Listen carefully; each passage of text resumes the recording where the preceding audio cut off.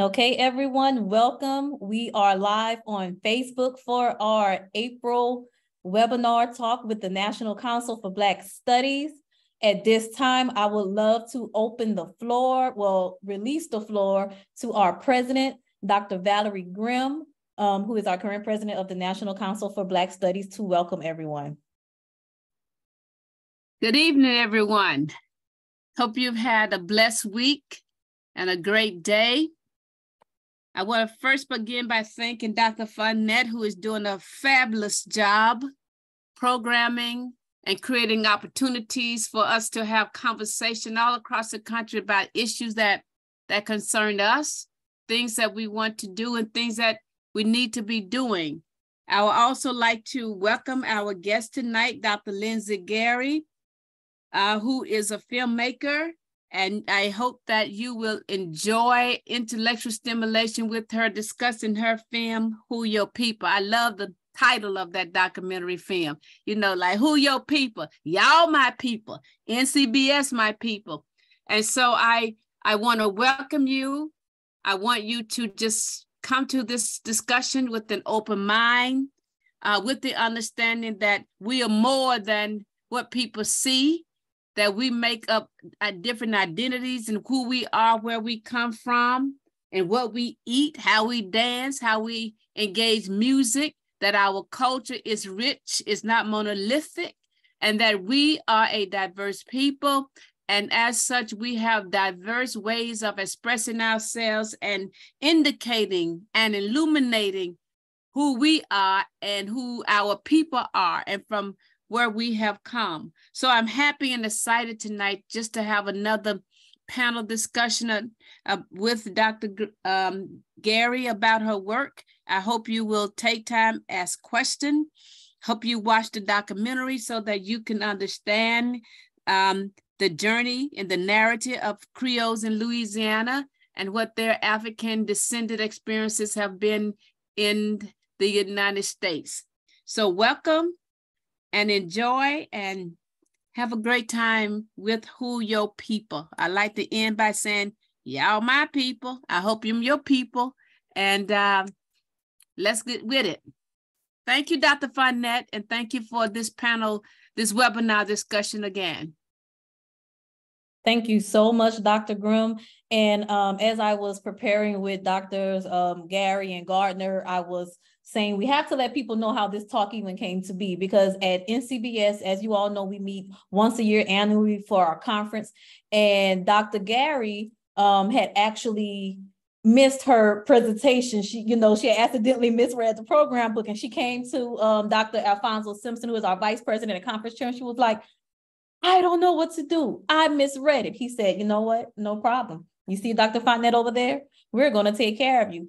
And as NCBS says, we take care of our people. And we said, Dr. Gary, you are going to have the opportunity to present your research, to have this talk and discussion. And as a matter of fact, instead of the 15 minutes you will have to share with three others on the panel, we're going to give you your own talk.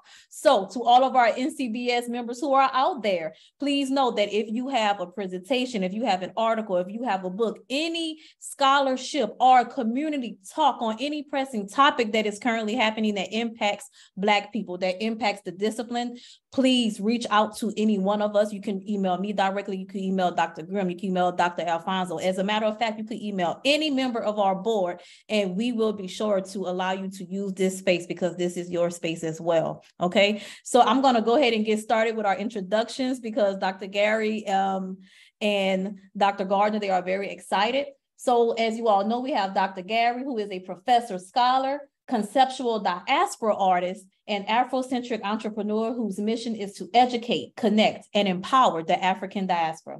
She graduated from the University of Houston with a BA in history and minor in dance and business administration, and later obtained her graduate certificate in African American studies.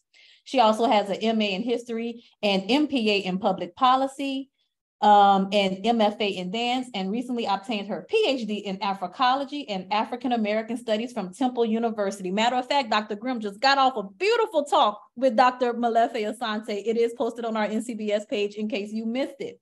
Um, Dr. Gary is an adjunct professor of African American Studies at the University of Houston and of History at Houston Community College, in addition to being the executive director of the Reeducation Project the artistic and executive director of Dance Africana LLC, and the co-director of Aid L Properties in Nigeria. She is also the CEO of Insegun Enterprises LLC. This sister is busy. She is doing the work in the community. She is also the author of the New Red Book, A Guide to 50 of Houston's Black Historical and Cultural Sites, as well as the director and creator of Who Yo' People, which is what we're discussing tonight which is a film that explores the African heritage of Louisiana. And also, by the when she sent me this bio, she could not put this next comp, this, this next statement in there. But this week, this sister also opened a all a bookstore in Lafayette, Louisiana, which only holds books that center around Black women. Okay, so this this this young sister is truly doing the work. Um, we have our other speaker here who assisted Dr. Gary, and Dr. Gary will also give more insight into how she and uh, Jennifer collaborated on this work. Um, Dr. Gardner was born and raised in the artistically diverse Chicago area. She is accustomed to understanding and connecting the nuances of building community and powerful networks. Jennifer has served on the executive board of the Chi Lambda chapter of Sigma Gamma Rho Sorority Inc Incorporated. She has helped numerous nonprofit organizations reorient their goals and small firms build effective marketing blueprints. She holds a BA in African and Black diaspora studies and a minor in international studies and the MA in Africology and African American studies from Temple University in which he specializes in popular culture, hip hop, and community based education. Jennifer has worked with Lindsay as a communications and marketing consultant. She currently serves as the assistant director for the Center for Black Diaspora and DePaul University. So at this time, I would like to turn over this platform to you, beautiful ladies, and please let's talk about who yo' people. Thank you so much, Alicia and Dr. Grim. And I want to say thank you and hotep to everyone on this webinar and on our uh, live stream on Facebook. Thank you for attending this incredible conversation. Thank you, NCBS and Dr. Fontanet, for just allowing us to come on and share this in a greater context. Uh, as the introduction has explained, we're here with this excellent, distinguished subject matter expert, Dr. Lindsay Gary, um, to kind of give us a little bit more insight into this film, into the research, the culture, the people, the community, and the legacy that um, this film is centered around. So, Lindsay, I know you have a presentation. Um, let's also share your screen and get started. Yes. Well, as I um, pull up my presentation, I just want to say thank you all so much um, for the opportunity to share. Um, I'm very, very excited to share this with a larger audience, um, especially to share it with NCBS and the greater community for NCBS. Um, it's a very important topic. Um, one thing Alicia, Dr. Fontenette didn't mention is that we share this connection to Louisiana. Um, Jennifer as well and um, it's very near and dear to my heart as someone who uh, was born in Houston, born and raised in Houston, but uh, has deep cultural ties um, to Louisiana, of course, originally from Africa, but by way of Louisiana. So it's just an honor to be able to share and give uh, more voice to my ancestors and to my immediate community. So I'm really tremendously thankful for how a mistake that you all handled with such grace can morph into this. So thank you all. And thank you so much, uh, Dr. Grim, as well. So um, I want to share my screen um, really quickly so you can um, get a little bit more background information about uh, what the film entails. Um, you already kind of saw uh, the information um, with the film, but I want to go over a little bit more about the background, how I conducted the research, and why I chose to do it in this way. So, my research was originally based on a uh, a kind of a Creolite or Creoleness perspective. So when I originally uh, started researching my immediate culture and community, I was a little girl. You know, I always had a keen interest in that. And so, oh wait, can y'all not see the presentation? Uh-oh, let me let me stop share. One second. It went away on my end. Can y'all see it now? No, not yet. Okay, I'm so sorry. Let me see. I can get this to share. One second. Okay, so I'm gonna try this again. Y'all bear with us. Can y'all see it now? Yes. yes. Okay, if I do this, can y'all see it? Uh, see loading. Okay. For some reason, it's not letting me share the full screen, but that's okay. Y'all can see it here, right? Okay. Sorry about that. So um basically what I'm looking at is my um my research, right? So how I started, I originally had a different perspective. Um, and I approached it in a, in a in a perspective that didn't really always feel correct and right.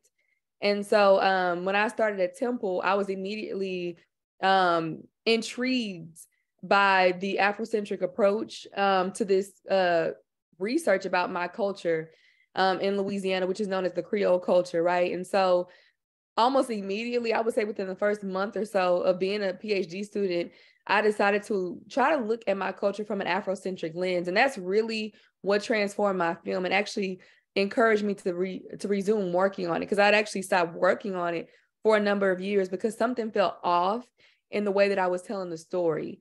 Um, and so it wasn't until I started at Temple that I actually decided to continue with the film in 2019. So I worked on the film, on completing the film alongside my dissertation, which I, you know, recently defended in December. So um, I want to give thanks to my ancestors who guided me along this process.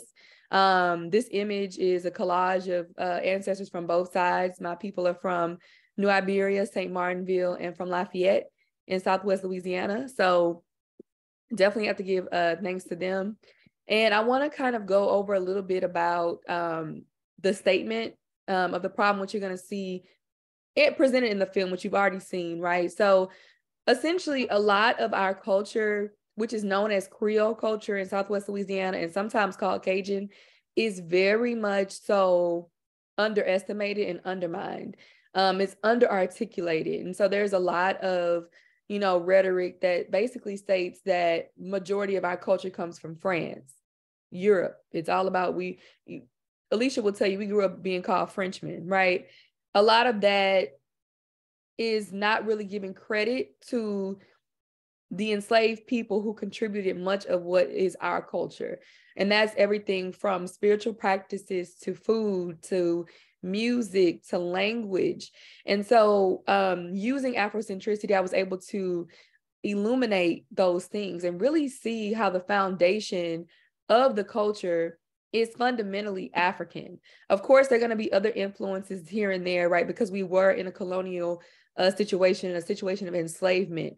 But it doesn't. It didn't mean that our ancestors didn't practice agency. It didn't mean that they didn't fight hard to maintain who they were and who we are now.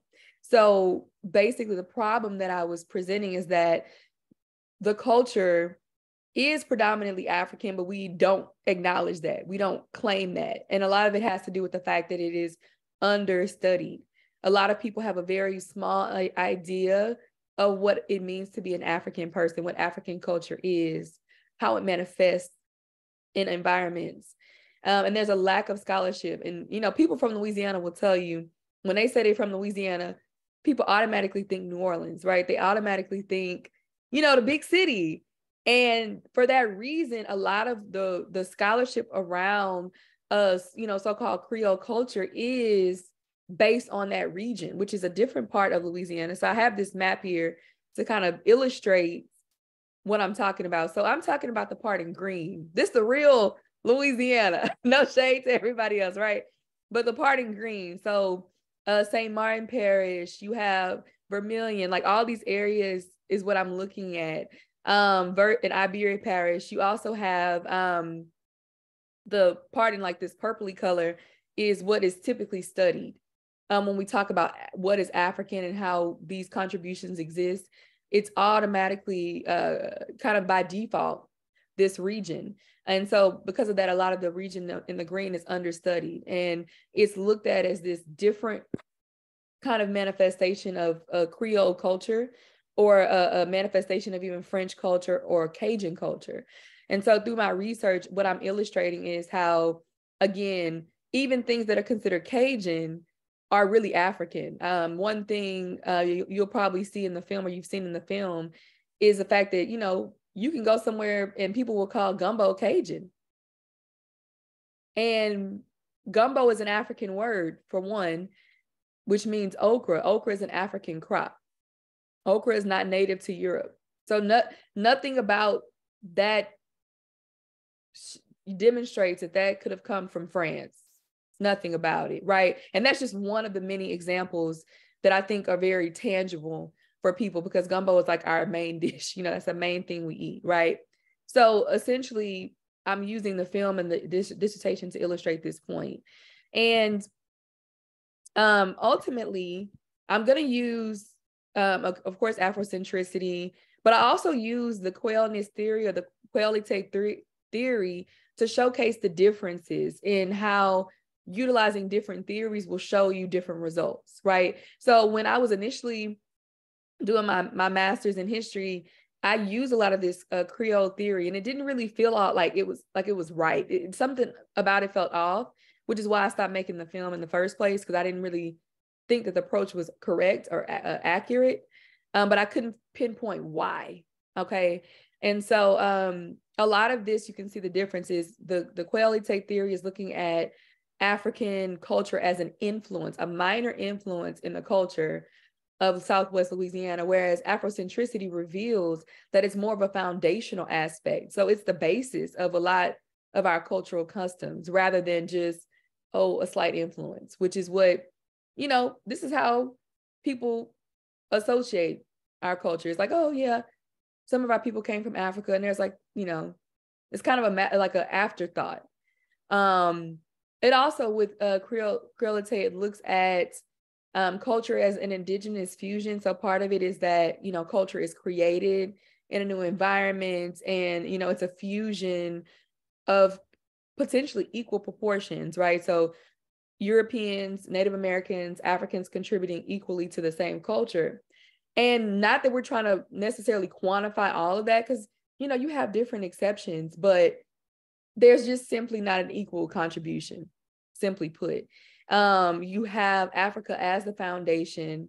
You have African people formulating this culture, so it makes sense for them to be the the the the ones contributing greatly to it.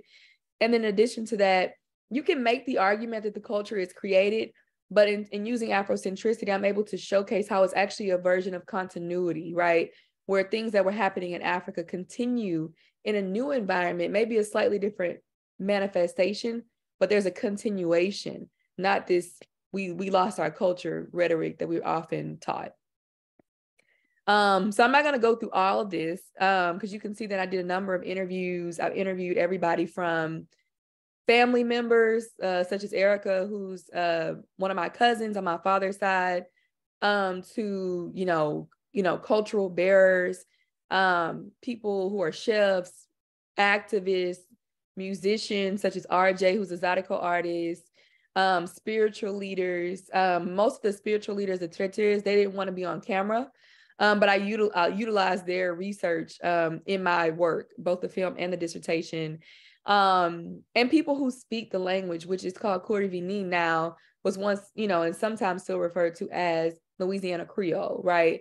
Um, so I use all of this, and I wasn't asking questions like, "Tell me what about our culture is African." when I first started trying to make the film, I was asking that kind of question. But when I decided to resume, and I quickly realized that wasn't the way to approach it because many of us in our community don't recognize or know that it is African. So by asking that question, they're automatically like confused, like, well, I don't know. They just know what they grew up with. You have to realize this region is very rural, it's not the big city. So this is not to say that they don't know things, right? Because they do, but they may not have met someone from the continent, perhaps, or, you know, have something to compare it to, to say, oh, this is similar to what my friend from Ghana does or what my friend from Jamaica does. You know, a lot of us have been in the region for centuries with amongst the same groups of people, the same group of people, right? So we may not recognize our culture as African, even though it is. Um, for example, the fact that gumbo is an African word, many people didn't even know that just five years ago. It's a word we use, but we didn't necessarily know it was an African word. So doesn't mean that we aren't practicing African culture just because we don't know that we are. And so that's what, you know, the film kind of portrays. So I essentially was asking questions like, what is our culture? What do we value?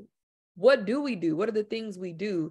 And that, you know, led to, okay, me contextualizing those things as African things and me, you know, showing them the similarities for them to see that.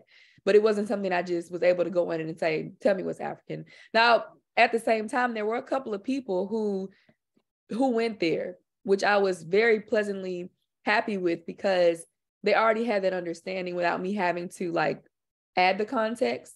So somebody like RJ, who was, you know, as you saw in the film, who's like the the cover, the poster child, uh, poster man you know, of this film, he was automatically, you know, tapped into that. So, but a lot of our other subjects, uh, interview subjects were not. Um, these are the two main books I use in the research. Um, Africans in Colonial Louisiana, which was written by Gwendolyn Midlo Hall. Um, this book is, um, she actually passed away recently. Um, but this book also inspired the book to the right, which is uh, Bouki Fait Gombo, which is a book written by Ibrahima Seck, who is a um, Senegalese historian, and he works between Dakar and uh, Edgard, which is you know a little bit maybe an hour outside of New Orleans, where the Whitney plantation is. He's head of research there, and so he was uh, inspired by a presentation that she gave in Senegal about her research, which demonstrated how much of our culture is Senegambian. So there's, you know, some things that are influenced by the region of that's now known as Benin, which was once Dahomey.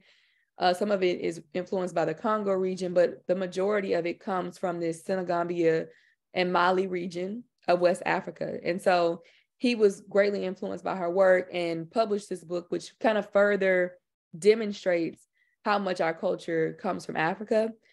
The beautiful part about this is that they exist, um, but again, they're talking about the region around New Orleans. So um, she talks a little bit more about Southwest Louisiana as well but I was able to use their research to apply it to our region as well.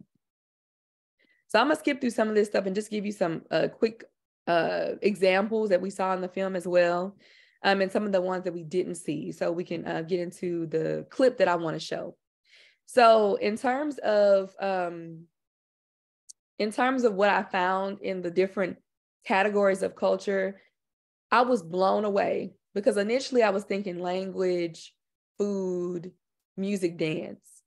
And I didn't necessarily always think about the spiritual part because that is a very taboo part of our culture. You know, people talk about traiteur, they talk about, you know, voodoo or what we call voodoo, but they don't talk about it openly. You know, it's not like something we just like, we talk about it amongst each other, but not necessarily to the greater community or people outside of our community.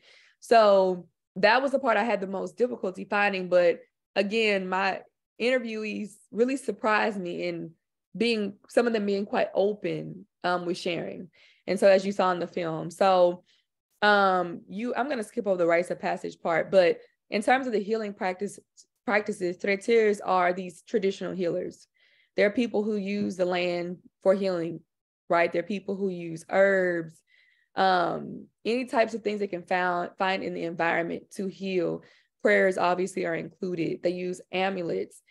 They are herbalists, right? And so this is a continuation of something we were doing in Africa. It's not something that was just something we created once we got to Louisiana. It was something that our people turned to. And so one thing that I'm really trying to illustrate is that when people are in a traumatic situation, they turn to what they know. And you also have to keep in mind that there were a lot of Africans who were in close knit communities, and many of them came from, if not the same groups, groups that spoke mutually intelligible languages. And so they were able to, for that reason, continue a lot of their cultural customs. So that it goes against that narrative that says that they lost culture. In many cases, even the enslavers encouraged marriage, encouraged family relationships because it actually benefited them um, on the plantations and what I found in my research. So it's consistent with why our, our cultural customs are still present in 2023.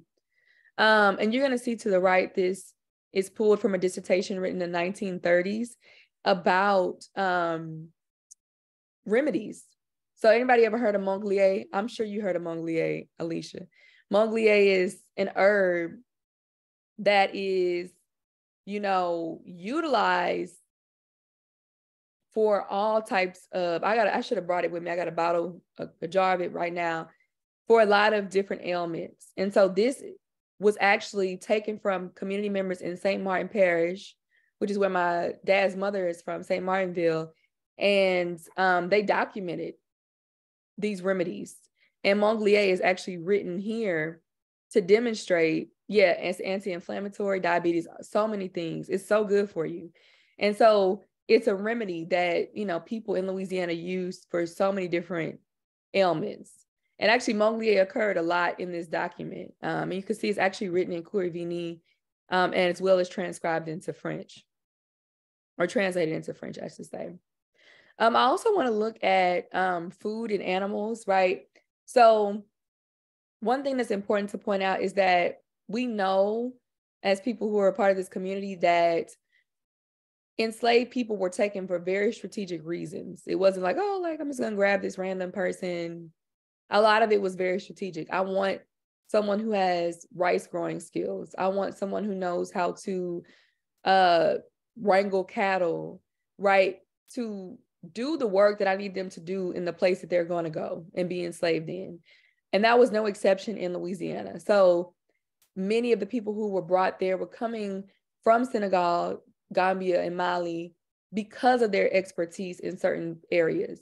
And so that those expertise, uh, that expertise that existed then still exists today, right? Today, rice is literally the, the food we eat every day, sometimes three times a day, right? As you saw in the film, Jackie talked about the mom was cooking, her mother was cooking rice before she even knew what was going on top of it. We eat eggs and rice for breakfast, jambalaya, beans and rice, whatever kind of bean it is, right? Um etouffee with rice, gumbo. Like rice is our main dish, right? And so also it's consistent with the fact that these people came from very uh huge rice growing civilizations in Guinea and Senegal as well. Um, and then also the cattle ranching. A lot of these communities, particularly the Fula people, were brought to um, Louisiana for that particular skill set. You know, they were riding horses. Hausa people were riding horses in Africa before they came to, to Louisiana. So it's not inconsistent with that, but a lot of times that gets wrapped up into the cowboy Western narrative without understanding the ancient connection.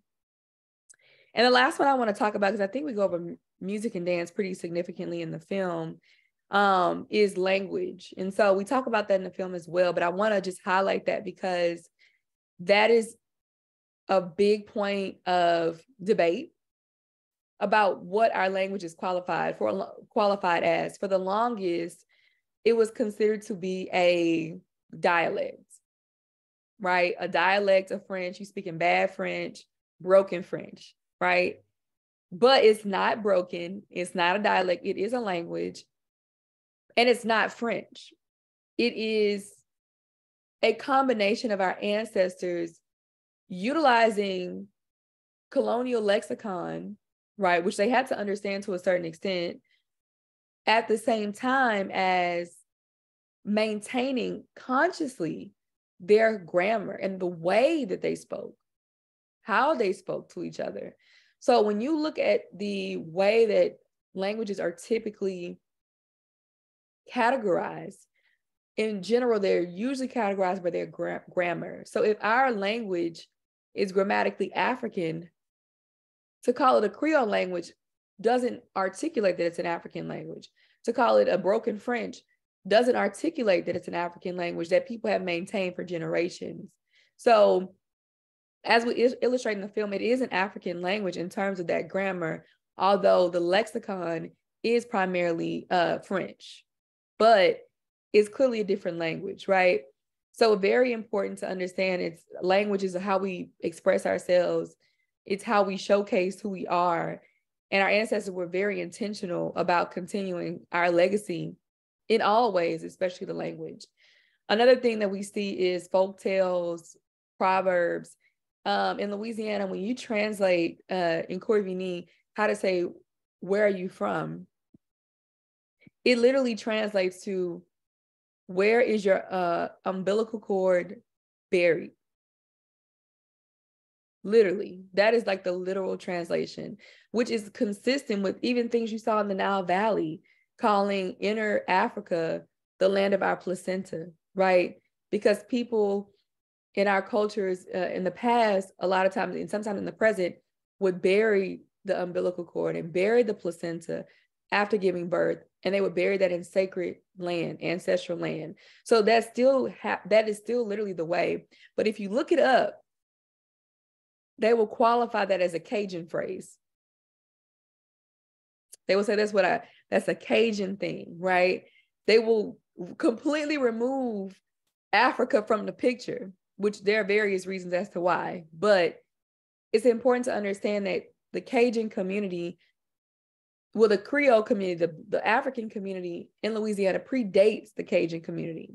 Africans were already in Louisiana before Cajuns were expelled or Acadians were expelled from, from Canada by the English. They learned from us, not the other way around.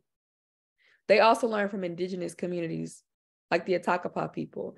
So for for for for that, we have to be clear that sometimes even Cajun culture is straight up just African. Not everything now, but some things that they call Cajun is not from Canada and it's not from France. It's just not, right? There's no such thing as a Cajun gumbo. So, with that, I'm going to end and I'm going to show a quick clip. And actually, this first clip did not make it to the film.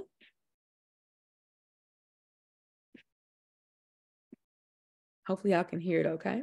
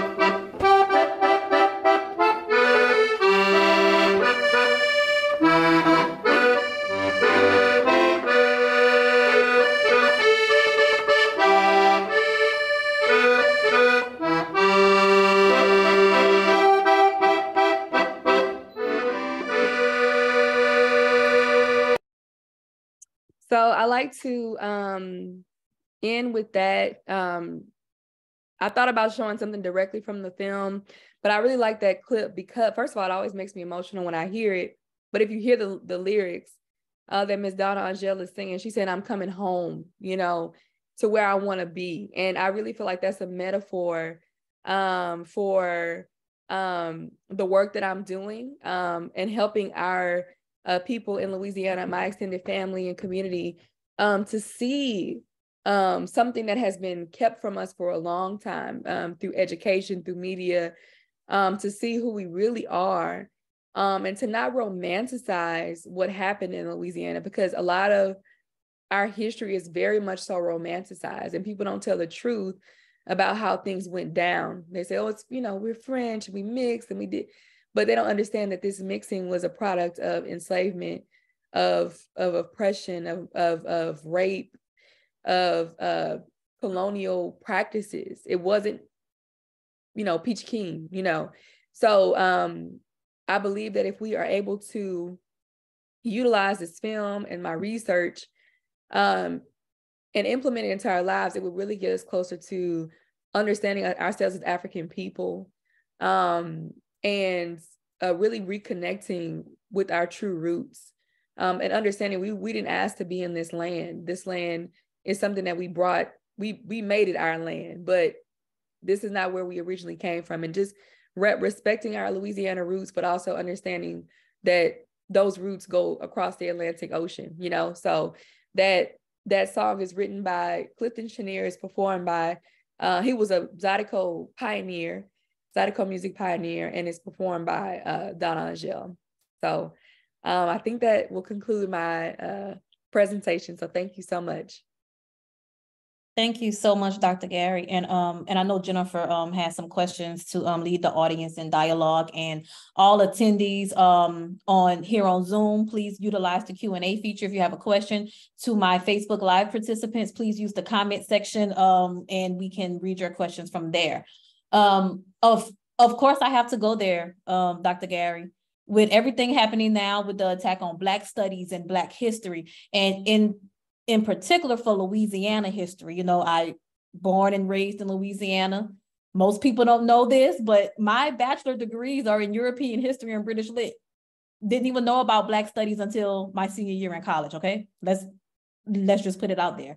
So when it comes to the identity, right, the the the impact of knowing one's identity and and teaching of self, when it comes to Louisiana school system, where do you see your work fitting in with that for Black and Brown people in Louisiana, particularly Southwest Louisiana?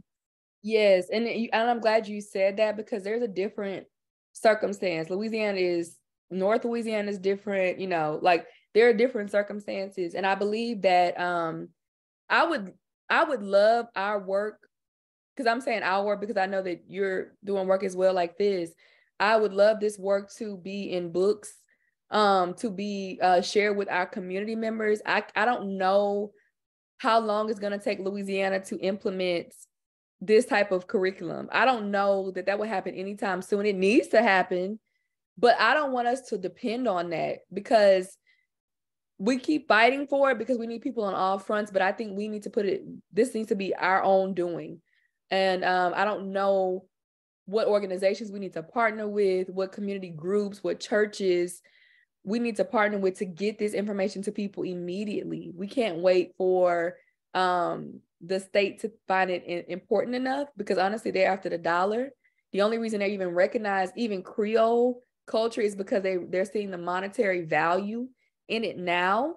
Um, because everything was Cajun this, Cajun that, Cajundome, Cajun, you know, Cajun, raging Cajun, everything, everything is Cajun this. And now that people are calling them out on this other aspect, now they're paying attention. So, I mean, unless there's some kind of mo- immediate monetary gain, I'm not sure how long it's going to take for the state to be on board, but I know we need to be on board and be responsible for educating ourselves and our communities, those who know, um, whether that's writing books, doing workshops, films, we have to do that work now because we're at a we're at a, a very important time where people's consciousness is is shifting. And they're more open-minded than they were 10 years ago about this kind of thing. And um, i know 10 years ago i was very afraid to even present my research because it sounds probably kind of normal to y'all but this is a touchy subject in louisiana. This is really touchy for people.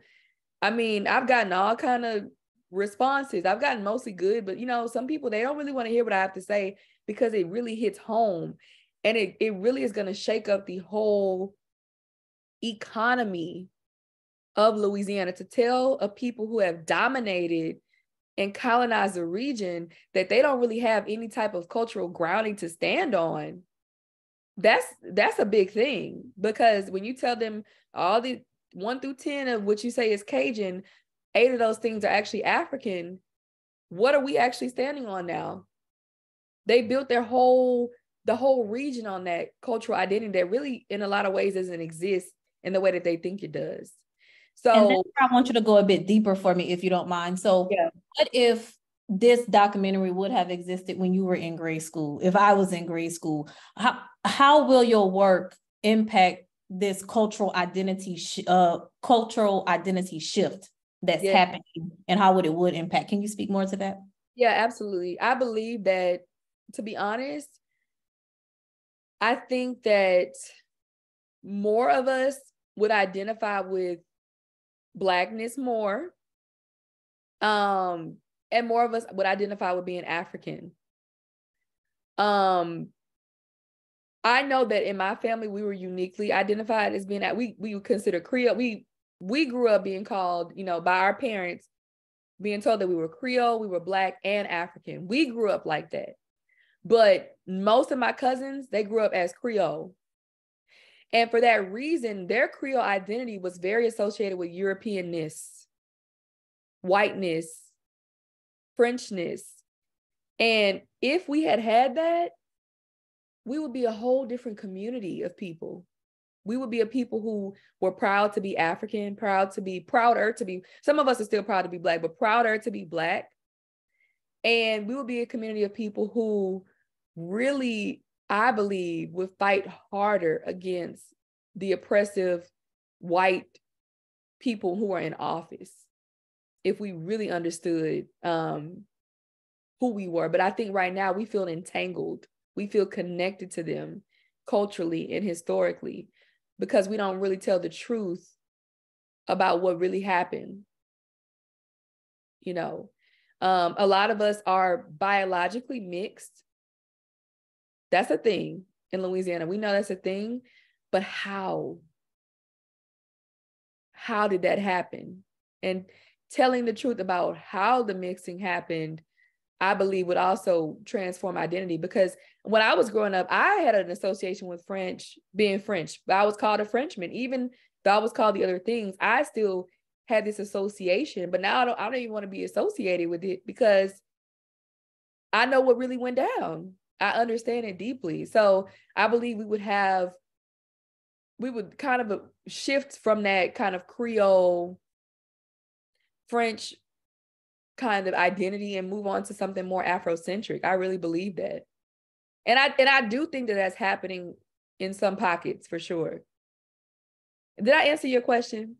Yes, yes, you did. And um, being I know you went to Temple or you know you're wrapping up things at Temple on the talk that Dr. Grim was just on with doctors um Karenga Gamage um and uh Dr. Asante he spoke to DeSantis not even knowing his true history because when you when you do your history you will learn he will learn that you have Italians that were also lynched in Southwest Louisiana when it came to whatever too. So you fight for something to not even know about your own history at, at this point. So knowing who we are, knowing our history, knowing what side of the fight we should be on, right, that matters in relation to knowing you know, our history here. And even when you look at this governor of Florida, for him to not even know his own history and how he is impacted by this as well.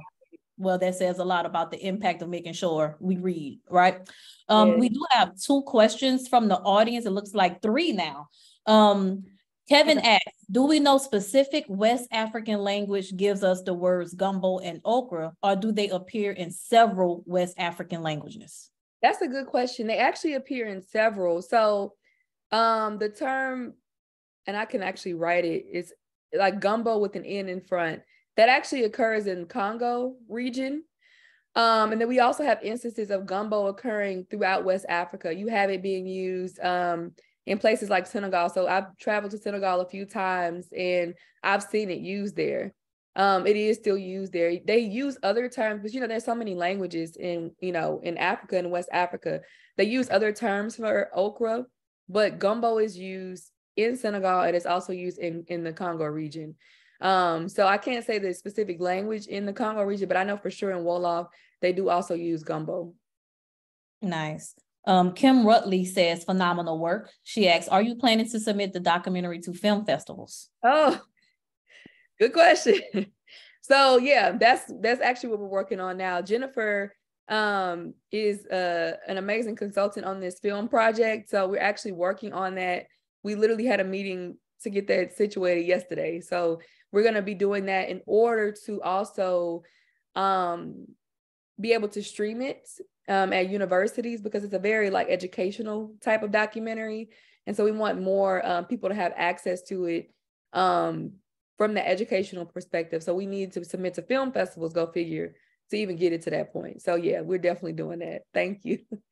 Thank you so much. And also just gave me the idea, and I'm sure uh, Dr. Grim will approve. Maybe we could also have it posted on NCBS's website under, you know, media or something. We can create that so that way scholars who are working on works like these can um, start building a collection up on our website as well to have this scholarship accessible to more people. So we can definitely talk about that as well. That would be awesome. Yes, um, we have a question from Marilyn Thomas. Can you speak to identification, Creole, and colorism in Louisiana? Oh, Marilyn, that's a whole semester class. Um, right. this yesterday. Yeah, um, does skin tone speak to identifying as Creole, or what are the complexities of that? Excellent question. So initially, when I um was working on the film, so mind you, I started this film actually about 10 years ago. I don't think I talked about the process, but I started the film about 10 years ago when I was just finishing undergrad. And um, this is before I even started my master's program, all that, right? And um, initially, I wanted to, the initial working title was "Too Black to Be Creole." I'm sure if you Googled it, maybe it would still come up because we did some, you know, small screenings and everything. Um, and and it had a lot to do with the my experience. So, absolutely, color plays a role in the identity part. And so, what I really wanted to do in the original approach was to ensure that darker skinned Creole people or people in the Creole community like myself were um, not being erased from the narrative. Um, and not to say they were being fully erased, but there was a lot of like, you know, in certain pockets, Creole was associated with a color. Not in every place, right? Because I don't feel like it's the same in Southwest Louisiana as it is like in New Orleans, like where Creole is almost synonymous with being light skinned. But at the same time, there was a lot of colorism. And so sometimes what I would call myself Creole, like, because that's the community I'm from, that's literally technically who I am. Um, I don't necessarily identify with that now, but that's I'm a part of that, right? Um, people would be like, "You too black for that." Like you too dark. Like people would just straight up tell me, people in the community, people outside of the community would tell me that growing up. And so I'm like, how you gonna tell me I'm too black to be a part of my own people? So there was a lot of like, but, but because of that association with being French and this over articulation of the contribution of French and European people, the African people are like not even a part of it in some in some people's psyches, even though they're the ones who brought when you think about Creole culture, the language, the way we talk, the way we treat people, our family structure, our food, our lang- our music, that all is rooted in Africa. But if you're associating all of that with Europe, then when you're gonna have the people who are on the other side of the complex the skin uh, complexion or spectrum, they almost become like outside of that narrative, which is really backwards. So um, that was actually the original approach, but I decided to to postpone that because I felt, and my ancestors really pushed me in this other direction, um, that I didn't want my me as a person from who's actually from the community, which is rare that you have somebody who's actually from the community talk about our culture. A lot of times it's outsiders who really don't know what they're talking about but it was rare that you have people that's actually from the culture. So I didn't want to be the first thing I put out there to be something negative about our culture because it's already a, a, a part that something that people think about. So I mm-hmm. wanted to talk about the greater cultural thing and connect that to Africa to understand that and then get into okay, let's talk about the colorism thing because it's not just a Louisiana thing. It's it's everywhere where people have been colonized and enslaved. You have colorism. And I didn't want our culture be, to be synonymous with that being an issue. Um, but it's something I am going to address. I'm actually working on a, a memoir about my personal experience and, you know, working on how we can talk about that. We actually, our next iteration of the film is going to be a web series. And then one of the, not a web series, a docu series. and one of the uh, episodes is going to be on that topic. But I didn't want the whole culture to be diminished, like to be reduced to just colorism, because that's not really who we are. That's a part of one of our challenges. All communities have challenges, and um, I, I just refuse to make that the forefront. But absolutely, colorism. We all deal with colorism. I'm not even. I'm in the middle on the spectrum, to be honest. But you know, the, it's all subjective, depending on your family. You know, my great grandmother, you know, could have passed for white Whereas, you know, my great grandfather on the other side was extremely dark skinned. You know, you have a very wide spectrum of color. And, you know, you have a very wide spectrum of color. And, you know, you have are you talking a very wide spectrum of color. And, you know, you have are you talking a very wide spectrum of color. And, you know, you have So you talk a very wide spectrum of color. and you know you have. So you talk a very wide spectrum of color. and you know you have. So you talk. No, um, our live stream has started replaying itself, so I just ended it. It's fine. Oh, I was like, that's a spirit. Mm-hmm. yeah, I'm gonna say, whoa, like ancestors chiming in. The ancestors like, girl, you better talk about it because they kept repeating that same little line. Yeah. But yeah, in some, it is a thing, and it's something I do want to address.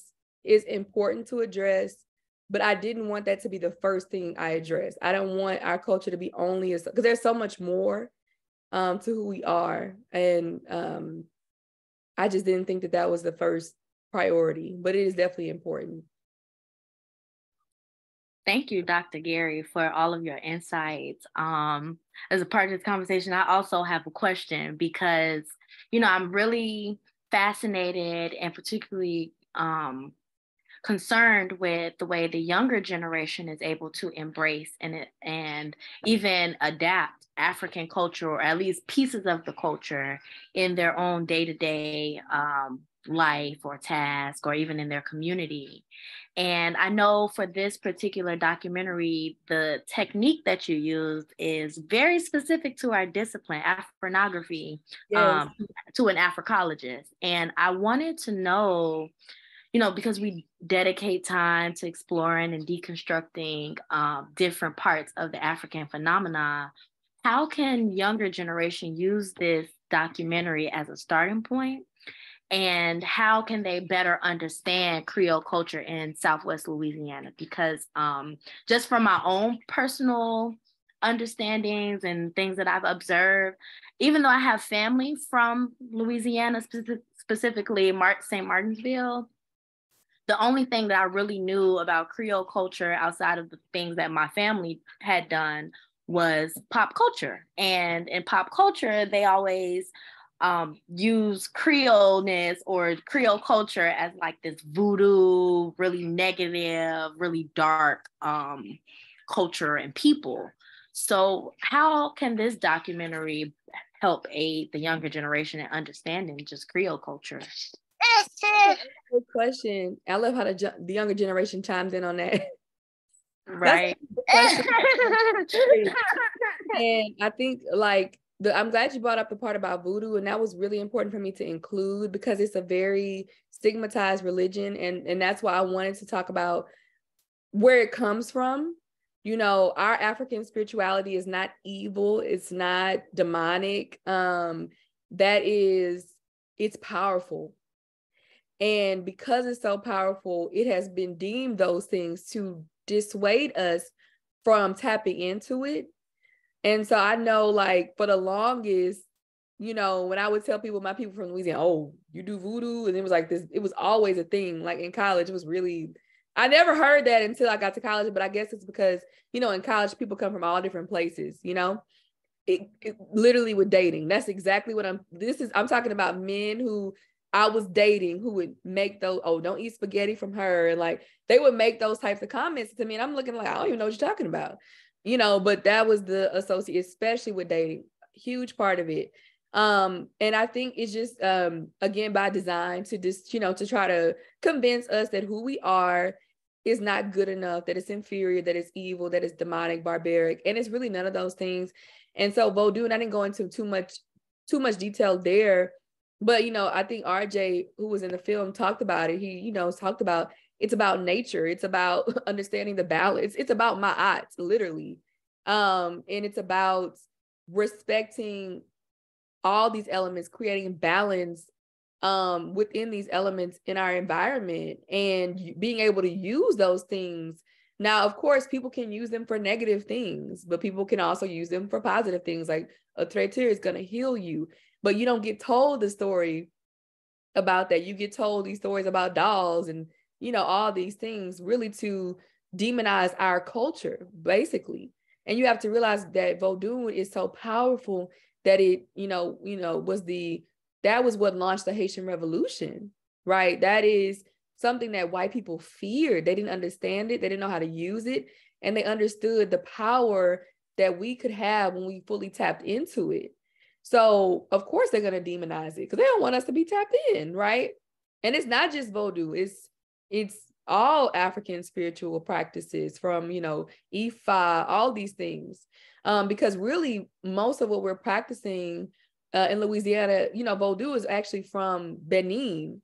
Um, and then some of that, some of our people are from Benin. I know me, I do have ancestry from, you know, what was once Dahomey, but most of us really are practicing Senegalese or Senegambian traditions or things from Mali, which is a little bit different but it's all African spirituality. So it just shows you the lack of education about where they actually came from in the first place.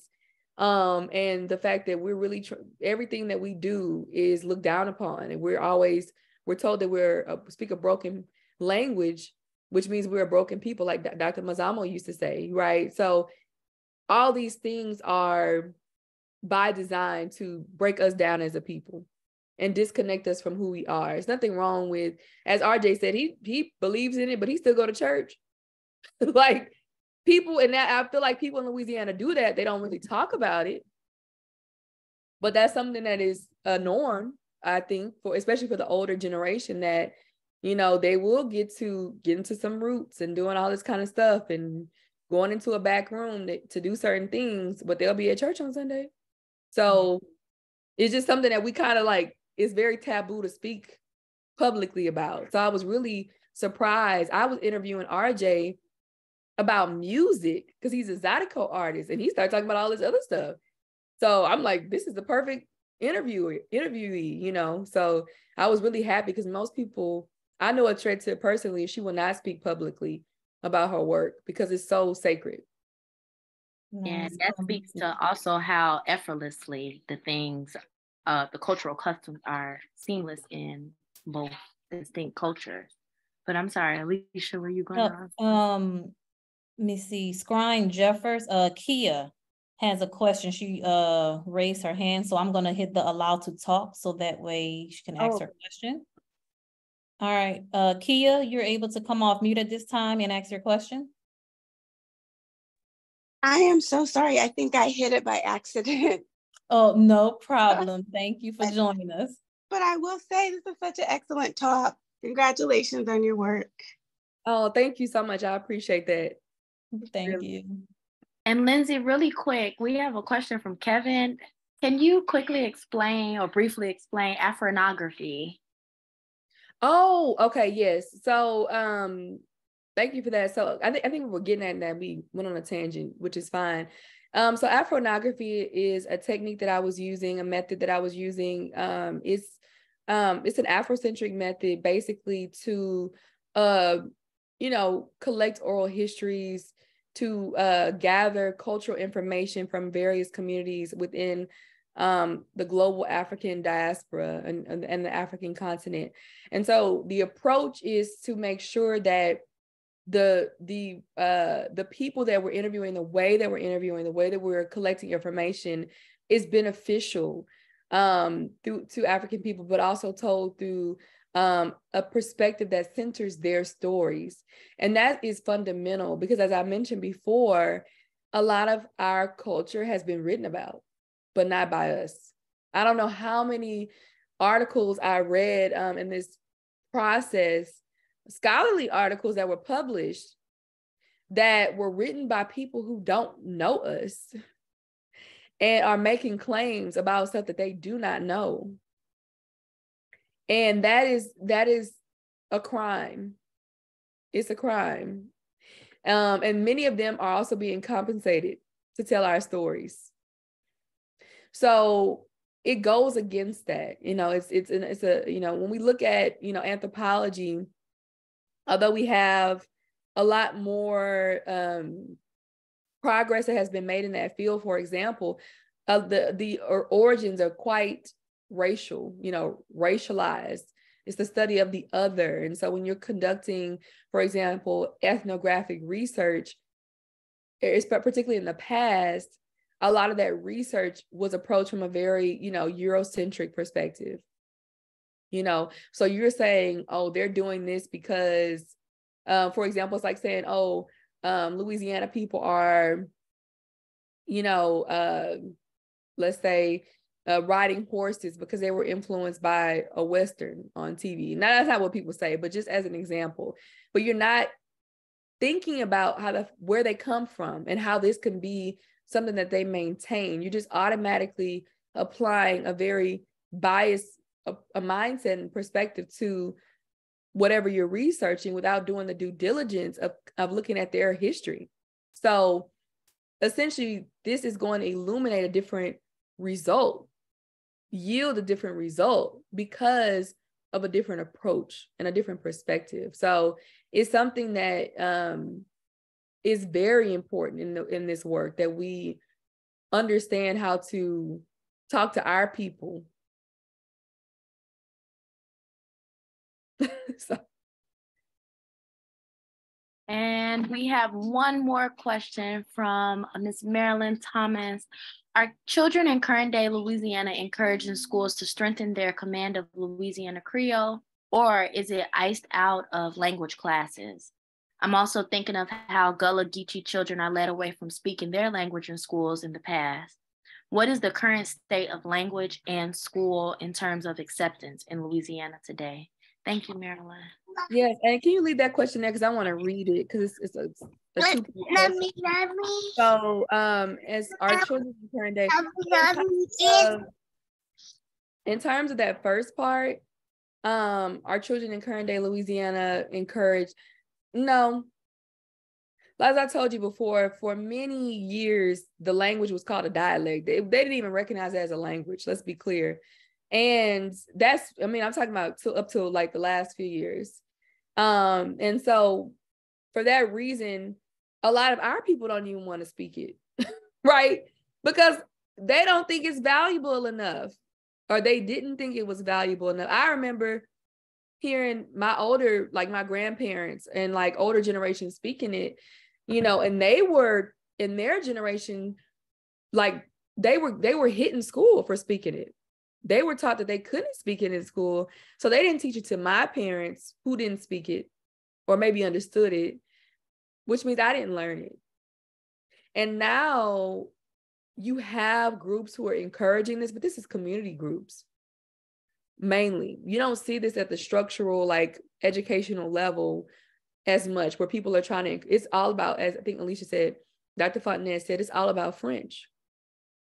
French, French, French, French, French. Um, and the second question, I'm also thinking of how Gullah Geechee children are led away from speaking their language in the school. Yeah, very similar. What is the current state of language? Yeah, so just same thing. You know, it's French. It's because that is the the legacy of Louisiana by those who are in power. Is there French people? I mean, these people are French people. They are French Canadian or, or, or Acadian, they are French, the people that are in power for the most part. So of course they're going to want to preserve their own legacy and impose that onto other people, just like they did before. So um, the people that are trying to teach the Creole now are more so like community groups um, who are trying to maintain the culture. Um, and there's there is a renaissance, I will say, where you have people who are my age who maybe didn't have parents who spoke it fluently, who are you know reaching back and trying to preserve it. Um, I've I know of a teacher, for example, um, who at, at, who she works at UL, but she also is um, working at the French Alliance in Lafayette, and they teach Coeur They teach Louisiana Creole, um, and people can sign up for that class. So there are people who are doing that work to keep it alive. But even when people, I want to add this at the same time. Even though it's not widely spoken. I come from a, a family where my my grandmother she never learned English formally. Right? Where her little brother didn't start learning English until he was six years old when he went to school. Right? So I come, that's the kind of family I come from where English was not our first language. Okay, it was something that we had to be taught. Um, it's something that people didn't speak in their neighborhoods. They spoke that when they went to the outside, you know, outside of their communities. Even in, in um, Port Arthur, my dad was like the, the, first child of his six siblings born in Port Arthur, um, which is on the border between Louisiana and Texas. And he talks about how his mother, even into the 60s and 70s, she didn't even speak English to her neighbors in Port Arthur, you know, which is in Texas. So it just speaks volumes on the language preservation, but yet my dad doesn't speak it. Right. Um, he understands it some. So point is it's something that we need to preserve, but also keep in mind that even even if this particular iteration of the language didn't exist in the future, which it will, because we're going to preserve it. But if it didn't, the grammar is not going anywhere. Because if you hear Louisiana people talk English, when they speak English, their English is different. it has a different grammatical structure than your so-called standard English. So it, it, it gives me hope that to know that we're still going to speak the way we speak, even if our lexicon is different, even if it's English lexicon versus French, our grammar is still consistent. Like make groceries. Everybody don't say that. Everybody don't say make groceries. you know, you know what I'm talking about. So yeah. I'm laughing because when I first moved to LA, I was like, make grocery and then don't let me say get down. No, I mean get out of the car. I'm like, I need you to get down. Right. you don't understand. I need you to get down, right? Way. It's a different way of talking and the, yep. the structure is different. So it is don't say save the groceries. There's like saving them from what? they don't understand. So so it's so the point is it's we're gonna preserve it, but just know that mm-hmm. it's not dead anyway in the first place. It's still there.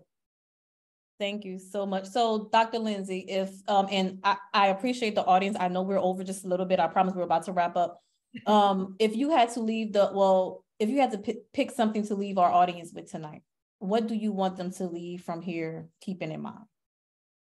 I want them to keep in mind that this film is about Louisiana, but this can be applied to so many other places. This can be applied to so many other regions in the world. And so I want us to look deeply at whatever immediate culture we come from. So if we, you know, grew up in Mississippi or grew up in Houston, wherever we're from, grew up in the Caribbean, really look and analyze our culture from another perspective and say, hmm, maybe what we are doing is still African.